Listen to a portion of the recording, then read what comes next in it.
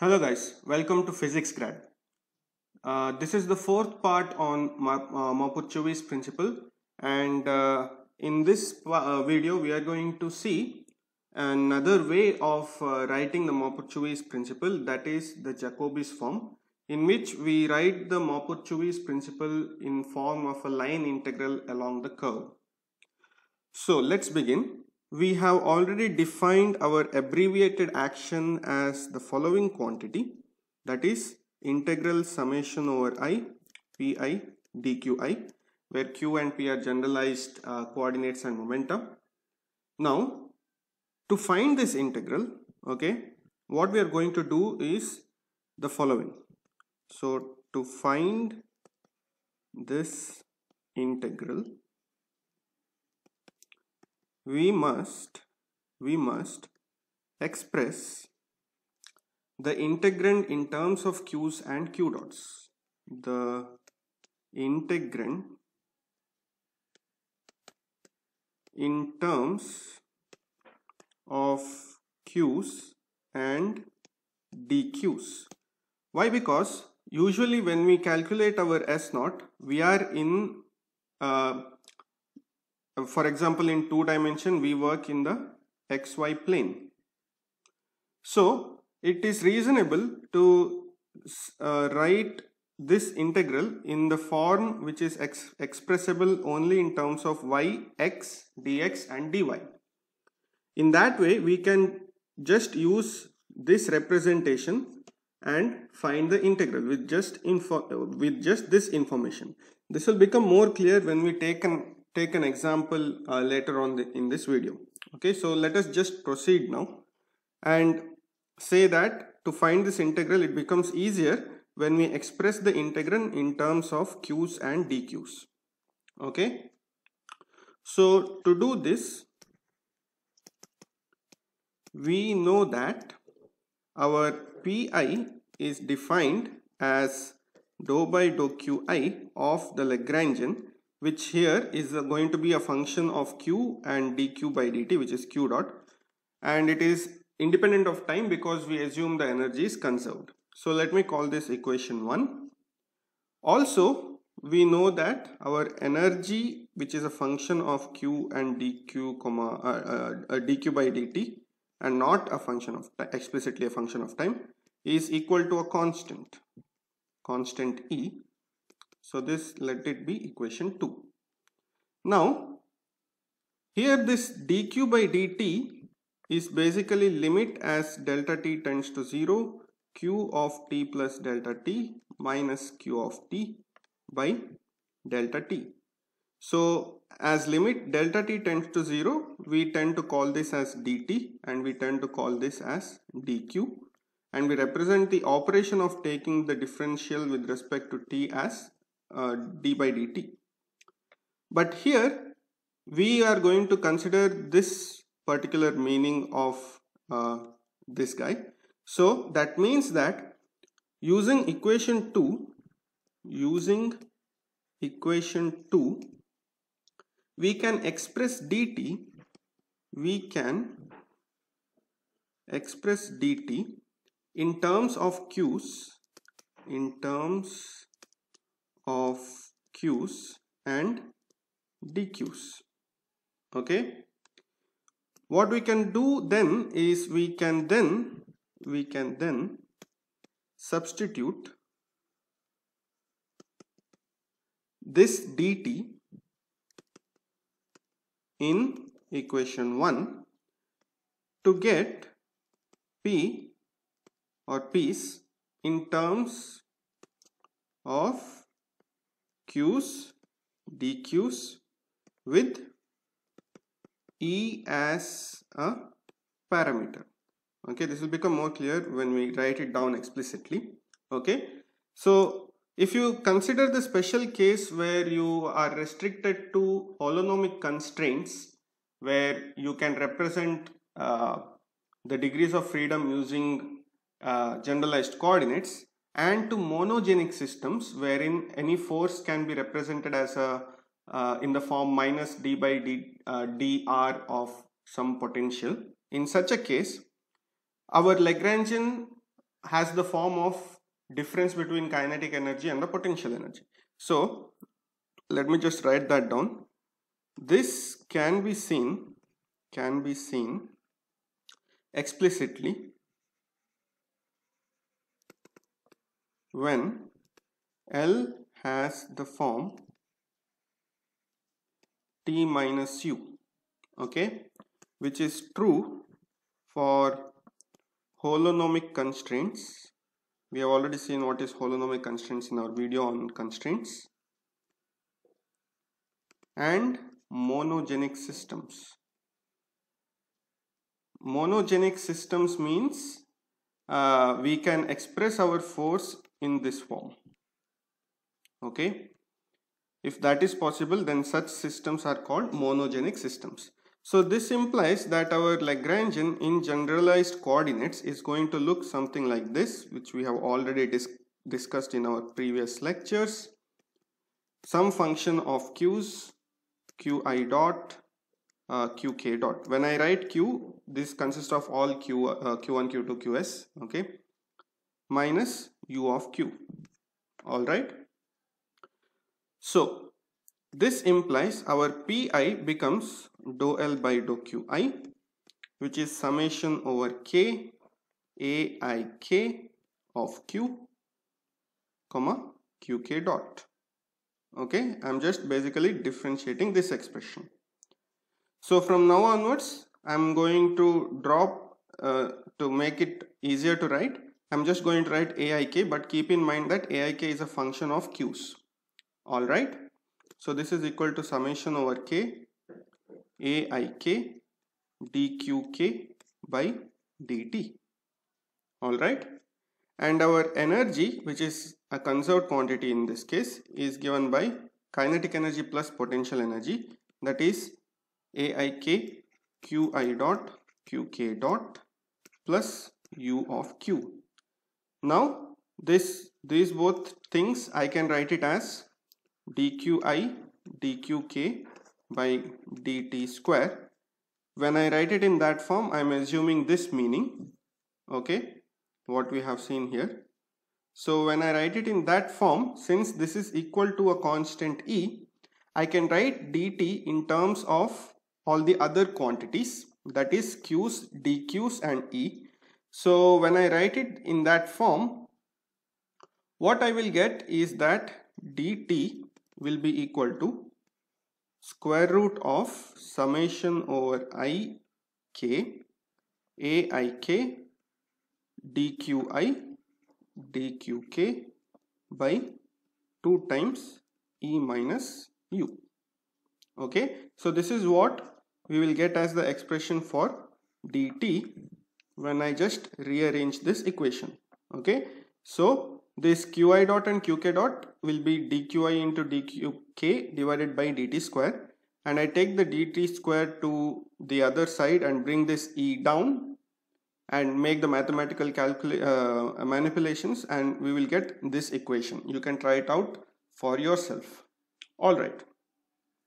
So this implies that our summation over i pi dqi has now become summation over ik aik dqk by dt times dqi. I have just substituted for pi using this formula and that is what we get. Now when I substitute dt as equal to this, you see that there is a term, this term and this term is the same. So when I divide it, there is going to be this is this is going to be this whole thing power 1 minus half which is half. So that will remain under the square root. And what we will get is that our expression so this is the action. So integral of this will become our uh, abbreviated action. So our abbreviated action will is going to become integral of square root 2 times e minus u summation over ik aik dqi dqk everything is under the root. Okay? So all i have done is substituted for dt using this formula. And if you do that this will reduce to this. And by taking the integral of that we get our action or abbreviated action to be more precise. To make sense out of this let us consider a single particle. So consider a single particle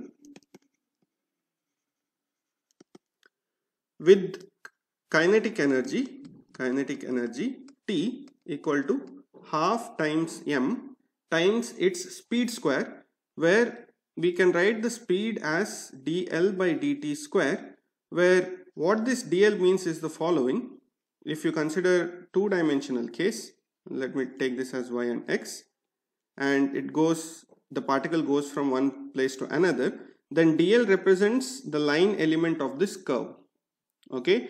So how fast it covers this l how much time it takes to covers this dl if uh, uh, that deter that will determine how fast it is moving. So rate of change of dl with uh, of l with respect to time where l is the total uh, instantaneous distance being covered that will give us the speed. So dl is basically a line element along the curve. All right? Infinitesimal line element. So dl will be infinitesimal line element of the path. Okay? So if we have our kinetic energy in this form now remember this dqi dqk has now become dl square. Okay? So here speaking roughly what what we see is that our dqi dqk has become dl square. Okay so keeping that in mind and following the same steps as what we have done here, our action S naught is going to become integral of root 2m times e minus u dl square which is equal to integral root of 2m times e minus u dl. Okay? Where we go from 1 to 2 okay? Along the particular path. This implies for true path true path our variation in the abbreviated action must be 0 which is saying that our variation in root tm uh, 2m e minus u dl must be equal to 0 so what this says is that you are integrating this function along this path. That is what dl represents okay from point 1 to point 2 whereas here you're you have to integrate it twice with respect to these two quantities separately. Here we are integrating it along the path as a line element okay. So in a way this is writing the same thing but in a different form and this form is called the Jacobi's form. Jacobi's form. This is just uh, mathematics. There is not much physics in this video. Just mathematical manipulations and looking at it from a different perspective. Alright, so for a free particle, for a free particle, if you consider, our u is going to be 0 which implies our action is going to be integral root 2 me times dl. And in three dimensions for example for the path corresponding to the correct path the variation in integral root 2 me dl must be equal to 0 okay? Or in other words this implies integral root 2me dl must take a minimum value. But if you think about it, if you for example in two dimension, if I take any curve then this particular thing is basically the length of this curve multiplied by this constant. And the length of a curve joining two points is going to be minimum only when it is a straight line.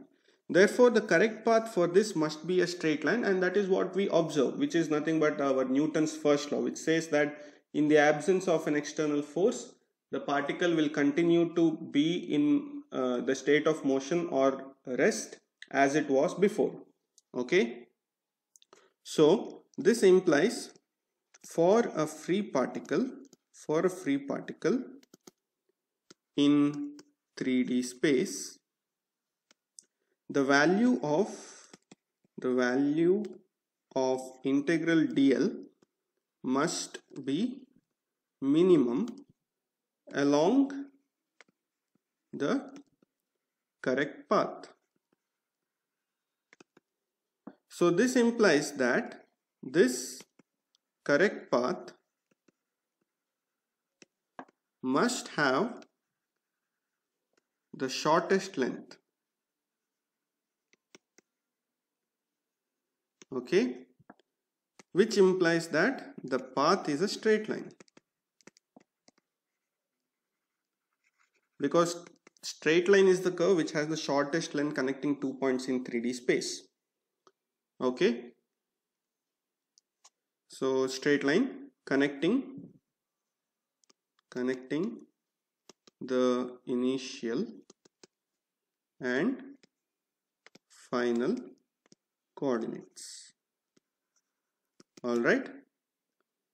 Now, before we finish our series in uh, Maupertuis principle, let us just see one more thing. We have already seen that the relation between our Hamilton's action and uh, our abbreviated action is given by the following equation where our t is the time taken time taken to complete the path. Okay? Then we know that for a given energy given energy E okay there exists a correct path there exists a correct path which is represented using S naught. Okay? So when we do, don't know the endpoint times we represent the path using the abbreviated action. And for a constant energy E there exists some correct path. And we are going to represent that correct path using our S naught. Okay? Now if the value if the value of E is varied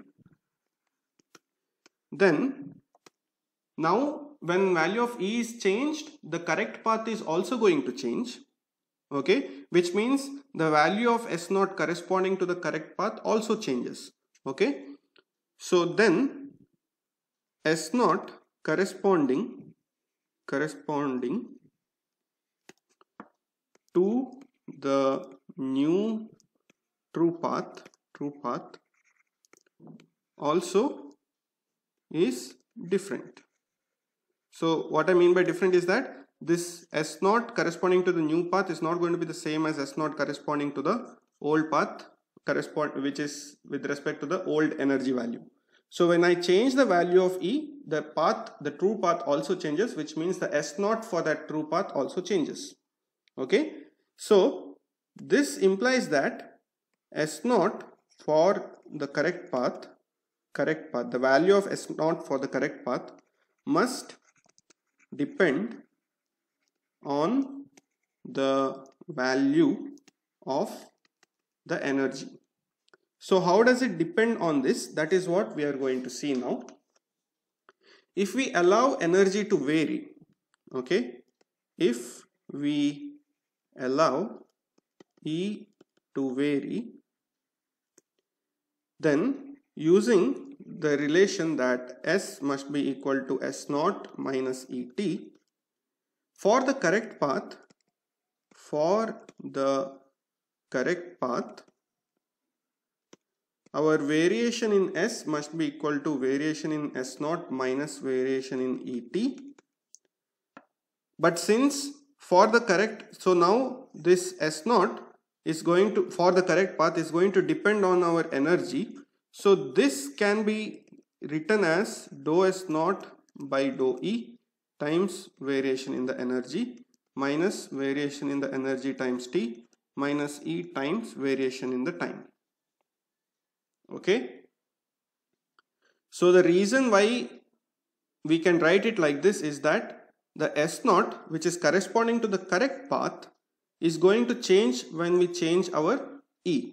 So variation in the S naught is going to directly depend on variation in the E. Okay. But our S naught does not depend on the time. So it is not going to vary with when we vary the time. It is only going to vary when we vary the energy okay the important thing to keep in mind is that this is true only for s naught value corresponding to the correct path which means that if you have two paths this is represented by s naught 1 and this is represented by s naught 2 if this is the true path and this is the virtual path then this particular uh, relation is valid only for s naught 1 and not s naught 2 that is what I mean. This we have also seen in the previous video when we considered dependence of the Hamilton's equation, uh, Hamilton's action.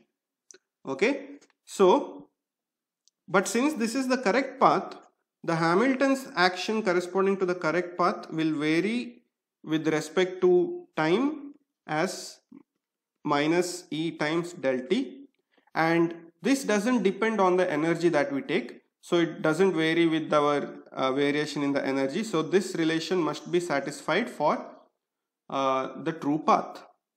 Which implies if I use this over here, we get that dou S naught by dou E times del E must be equal to del E times T which means that dou S naught by dou E must be equal to the time taken. Okay. So we do not know what the value of time taken is. It is a variable. But uh, this is how our abbreviated action, if the time taken is given by t, then the dependence on energy of the abbreviated action is going to have this particular relation. Just like how for our uh, uh, Hamilton's action, we had the relation that dou s by dou t was equal to minus e. Here we have dou s naught by dou e equal to t. So there is a similar kind of symmetry here as compared to the Hamilton's equations where we have dou h by uh, dou p equal to q and dou h q dot in fact and dou h by uh, dou q equal to minus p dot. All okay, so this is where I would like to end. Uh, thank you for watching. See you next time.